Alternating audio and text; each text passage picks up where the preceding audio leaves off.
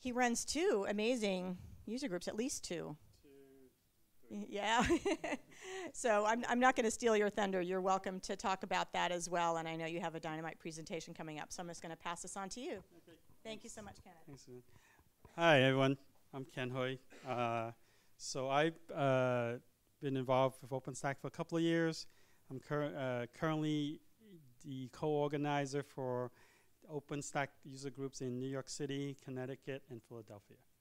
Um, co-organizer. So, so uh, we've kind of created a model where, uh, since I know a lot of folks in the community, my job is to arrange speakers. And then in each uh, location, we actually have a local organizer who's in charge of, of logistics and facilities. And uh, because, as you can imagine, New York is a big draw for a lot of vendors in terms of wanting to speak. We've kind of adopted a model that basically says if you want to come to speak at the New York City meetup, you have to agree to speak in Philadelphia and Connecticut that same week. And by doing it that way, so it's a model that we're uh, sort of testing out, which would be the idea of, of you know, one way we could spread a lot of user groups where in small areas where maybe vendors aren't as incentivized to speak, would be to create a, uh, create a anchor, in essence, an anchor user group in a large uh, city where vendors want to speak, and then build a lot of smaller user groups around it, and basically say, you want to speak at that large user group, you have to speak at the, uh, the smaller ones as well. So that's a model that works for the most part for us. So, um, uh, so I actually try to be fair to the vendors. So if you guys know anything about geography, Connecticut's New York City's in the center, Connecticut's north, Philadelphia's south. So I try to make them go either north to south or south up. So New York City ends up being the middle. So. Um, so it's worked out. So that's uh, one of the things that one of the ideas I'm trying to float by maybe the foundation. Uh, speaking of which, there, there's I'm also part of the um, Open um, OpenStack Ambassadors group. How many of you are aware of that group? Okay, only a few of you. So it's basically we were um, selected by the foundation as folks who've been involved in the community, and part of my charter, being part of that group, is we are to spread the word about OpenStack and to help uh, people who want to start user groups. Um, so if uh, obviously I'm, I'm best capable of helping you if you happen to be near New York, the East Coast. Uh, but doesn't matter if you're in another country. If you just need some advice, um, I'm certainly happy to help, or I can point you to the OpenStack ambassador who's covering your region. That's what I say about user groups. um, what I want to do today is go through a presentation. Um, so this is a talk I've actually done in the past in uh, other summits uh, about OpenStack for VMware. And the, the story behind that really is uh, I actually uh, have a lot of experience with VMware. And when I got into OpenStack, it was around this, uh, shortly after that, VMware started making a lot of noise about being integrated into OpenStack. And I found there wasn't a lot of documentation about that. Um, so I started drill drilling down on the existing documentation and basically bugging the uh, OpenStack team at VMware as much as possible to find out exactly how things actually work. So I've kind of given this presentation, uh, and a lot of the focus of this also is that uh, I used to work at Rackspace on the OpenStack team, and I would say half my uh, conversations with customers were trying to talk them out of using OpenStack. Um, and what I mean by that, and you'll see, is there are certain things like Oracle RAC that may not be a good fit for an OpenStack cloud, and sometimes customers aren't, users aren't clear on that. So, um, I'm gonna walk through that in this presentation. So, okay, so why VMware and why and or use OpenStack with it, VMware? Well, that's a great that's a great place to start because I think uh, there is a tendency for some of us who like to chase after shiny new things. And we go OpenStack's a shiny new thing, and oh, it's free. So therefore, we will use it to replace everything we're doing with VMware. I'm going to tell you why that's not a great idea. Um, because one of the the key thing that you need to think about in any kind of uh, architecture design, infrastructure-wise, it's that the dictum is workload dictates architecture. So you don't select your cloud platform and then say, let me, let me just throw all my workloads on there. you start with the workload. You start figuring out what it is I actually want to run, what is it that my business needs to accomplish their goals, and then say, I will find the architecture, the platform that fits fits underneath that workload. Otherwise, you will have failures and, and your users will not be very happy. Uh, so we talk, uh, how many of you are familiar with this term, third platform, second platform?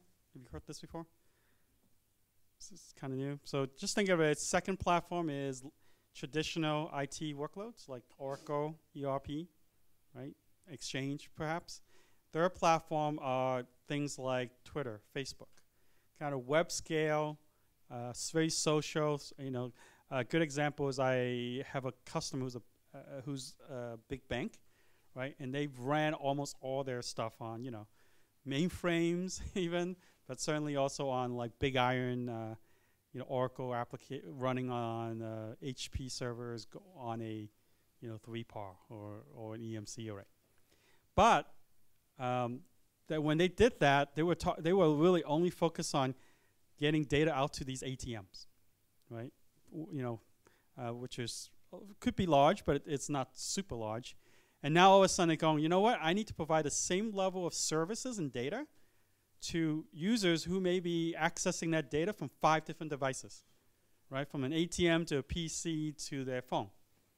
And all of a sudden, the, the exponential amount of growth in that in in that scale means that I can't use that same legacy application. So this uh, bank is looking at things like object storage, for example, uh, to, to, to, store your check images, right, as opposed to storing on a NFS file system, which can't scale to the levels that they, they expect they have to scale. So that's that's so that's that's a, so this is an important differentiation between what is a second platform workload and what is a third platform workload, because knowing which one you're targeting helps you decide which architecture and which cloud platform you need to run on. So if you guys are traditional kind of you know data center folks, you'll recognize all the second platform stuff, right? These are these are things are very where they the application and the OS and the hardware is very tightly coupled, right? If if you're running Oracle on a server and it's a SAN, you know, uh, storage, if that storage dies, your Oracle is going down, is going down hard, right? And you and now you, are in a failure recovery scenario. Um, the other things, th these tends to be very much a traditional uh, database servers, again, like an Oracle or SQL server that has certain that assumes that the infrastructure on it, underneath it, it's always up and running, right? Kind of 90, you know, five nines availability, right? And it doesn't deal well if the infrastructure kind of goes away all of a sudden. Um, and they tend to be steady state and very, uh, uh, so I know that if some of you are working in places where there are there's such things as peaks, right? Maybe at the end of the month or at the end of the quarter. But generally speaking, with, with traditional apps, you kind of know what the boundaries are, right? You every month you know you're going to spike up by X percentage, more or less. So you can kind of build. You know, you ever heard that kind of built for the uh, built for the peak, right? Um, because it's because uh, you're not going to have a very elastic infrastructure. You want to make sure you can account for that. But you know what that peak is at the end of every month or quarter. And then operator focus. So what, how many of you guys, how many of you here have done work on things like uh, Windows or, or um, VMware, for example? A few of you. So I always ask this question when I talk to VMware admins, which is, how many of you who are doing VMware admin work um, give credentials to your developers to the web to the uh, vSphere client and say, you go ahead and provision your own VMs and storage. So I've talked to uh, several hundred. I found one guy who does that, right? Because that traditional workload, uh, because it's, it's of its complexity, right? It it uh, assumes that uh, you don't want it, the end user to have access directly to that resource, right? So the cloud, so the admin becomes kind of the gateway to provision resources.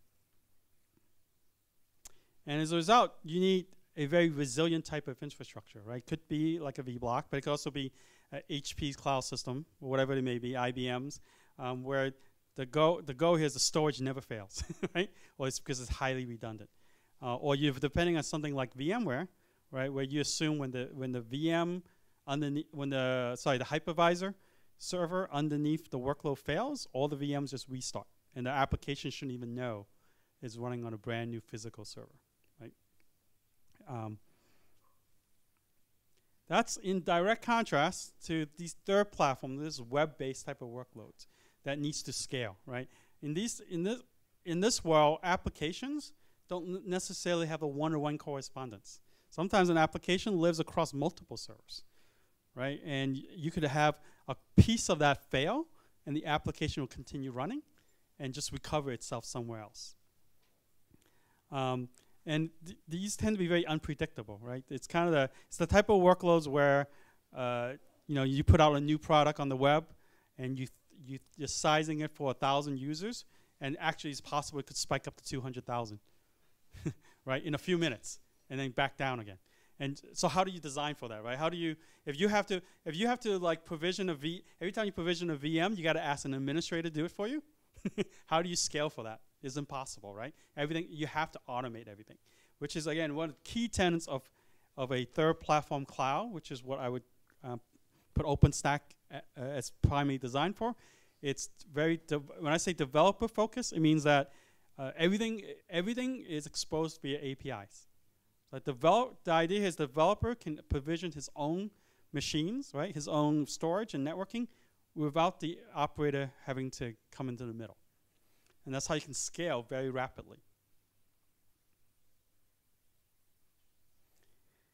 And the design assumption at that kind of scale out level is that um, the infrastructure will fail, right? So the app, so we're- i i this is the this is the area that's very important because again, when I talk to a lot of banks, traditional enterprises, they they go, "Can I put Oracle on here on OpenStack? Can I expect that when if a compute node fails, or the Oracle just recover by itself, uh, the VM that's running it on another machine?"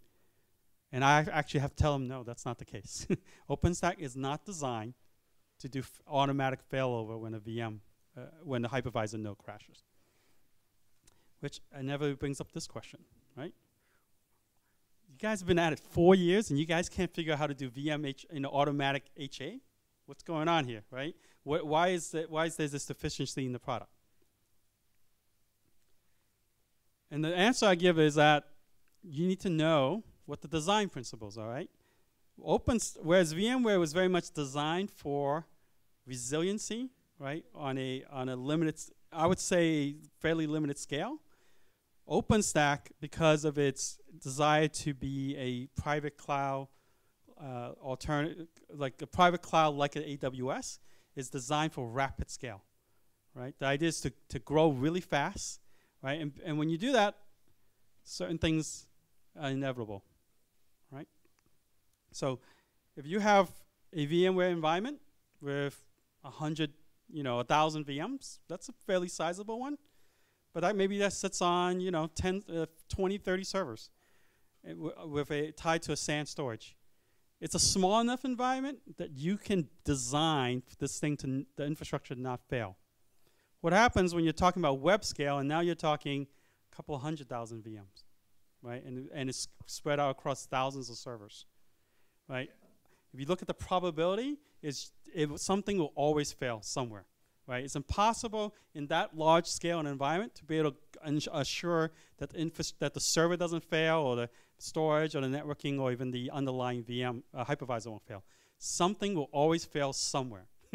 so the, the goal here is you need to just assume that is the case and build for it. So you design for it to fail. You assume the wheels are going to come off a- anytime in the infrastructure, and you build, you design your applications uh, when it's on OpenStack to be able to account for that. So I'm actually going to skip this because I'm assuming all you know what OpenStack is, right? So OpenStack orchestrates a lot uh, virtual resources and presents them up, right? Very again, very importantly, as self-service on-demand APIs for end users. And again, the goal very clearly here is not around infrastructure resiliency. The goal of OpenStack is to figure out how you can help developers deliver I, uh, or, uh, sorry, uh, operators deliver self-service IT to their developers at rapid scale. And things like shared infrastructure SANs, like you have to run on VMware, um, one of the tenets is the more shared infrastructure there is, the more limited your scalability. Right? So by having a non, uh, uh, not, uh, nothing shared architecture in OpenStack, right, not using a lot of SAN disk, you're actually able to scale more rapidly than you could in a, in a shared SAN environment. but they never. The reality is, as we're as OpenStack is maturing and getting into the enterprise, right? More and more customers are going. Well, I want to, I, I want to run both, right? How many how many enterprises have nothing but Platform Three? Well, that's all they have coming up new. No one, right? Everyone's got platform, kind of that older Platform Two stuff, and and maybe they're growing into that Platform Three, and they want to be able to run both in their environment, right? There is um, there, I think there is a desire for customers to say, I don't want to have to run two different cloud platforms that are managed completely separately. So VMware kind of got into the game, kind of to address some of this. And today, there's actually a couple of ways you can do this, right? One way, which uh, we, VMware has done a pretty good job of, is they basically took uh, vSphere, which is their hypervisor technology, and folded it in underneath of OpenStack, right? Because one of the things I talked about is OpenStack is actually not a hypervisor, right? It is a orchestration of virtual resources, including multiple, including hypervisors. So you can actually uh, run OpenStack with KVM, with Xen, with with Hyper-V, or with uh, vSphere in this case. So which so the way and the interesting thing about how v VMware does it is they basically take a vSphere cluster right? And expose that to the cloud, the uh, OpenStack services, Nova services, as a single compute node. So the benefit of that is from the no from your APIs, you can provision uh, machines right to a vSphere hypervisor, just like you do now with to KVM. It's the exact same API commands, but from VMware's perspective, once once the uh, command goes out to provision a VM in, uh, under VMware, it actually uses vCenter. So now you get all the stuff we talked about that you can't do with OpenStack generally, natively, like having uh, VMs fail over automatically, all happens underneath vSphere, underneath of OpenStack. So one of the models that we try to do is basically creating two availability zones. So if you're familiar with the concept of availability zones, basically you're, you're going to section off a subset of your infrastructure and say that that's my, my, my platform two or my VMware um, availability zone, and your developer can choose to provision VMs and applications onto that zone, and then you can have another zone running KVM without shared storage, and you can run all your web applications and your NoSQL databases. Right, so that's a that's a, a good approach to take. Uh, second approach, uh, how many of you have heard, heard about this, VMware Integrated OpenStack? Some of you have. So uh, very quickly, it's just, this is VMware's own distribution of OpenStack, right? But it's, the concept here is that of a, uh, what they call, think of it as an undercloud and an overcloud. So the undercloud is actually is what the VMware admins actually, um, where you put all your OpenStack services. That actually runs on vSphere. And then you have an overcloud, which is your OpenStack services, and like Nova and Neutron. And the idea is, if I put if I put this on top of that overcloud, undercloud, now I have a I have all the resiliency that I have with vSphere, and I can I can manage it like it's a VMware application. So some of you guys uh, you mentioned you're a VMware admin, so think about what if you know your boss came to you and said, you know, we need to spin up OpenStack for my developers. And you're scratching your head because you don't, you haven't played with OpenStack, right? And, but now you have got a week to get this rolled out. You know, and some of you have done OpenStack, know how complicated that can be. Uh, what if doing that means you just, you basically right click on your VM, your web, vSphere web client, and there's a V app, an app, icon that says OpenStack. You right click, answer a few questions, and it just basically blows out an OpenStack environment on top of your VMware infrastructure. And now, from the developer's perspective, he's using all the AP, OpenStack APIs like it's a native OpenStack. But for you as an admin, you just treat it like it's VMware. Yes. Yeah. So right now, the first cut is going to be VMware only, but they plan to support KVM as well. So this is, there's you know, there's pros and cons to everything. But the big pro here is if you're a VMware guy, or, or you're working VMware guys who need to get OpenStack up and running, this is probably the fastest way because it's the most familiar tools that, that, that they, they have. So I think my time's up. Uh, unless you have, it's time for questions or any, anyone have questions? Yeah. Yeah. Yep. So what they use, uh, you familiar with something called NSX? Basically, NSX has a has an option called multi hypervisor. Basically, you run that, and you can uh, you can run it through Open vSwitch on a KVM side, side and then an NSX switch. Oh, sorry, it's NSX on across both environments. Yeah. Yeah.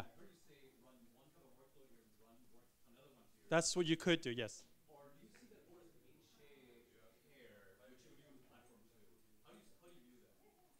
Well, so, so when I say so basically, I would say all the vSphere clusters are its own zone, and you and you want to do like Oracle, you put it into that zone, and it'll, it'll make then Nova will make sure that it only gets provision in a vSphere cluster that provides the HA. Now, obviously, there's stuff underneath that, like you have to have a share SAN, right? Otherwise, it won't work. so, yeah, yeah. Next, next slide or previous slide? Yep. Yep. So,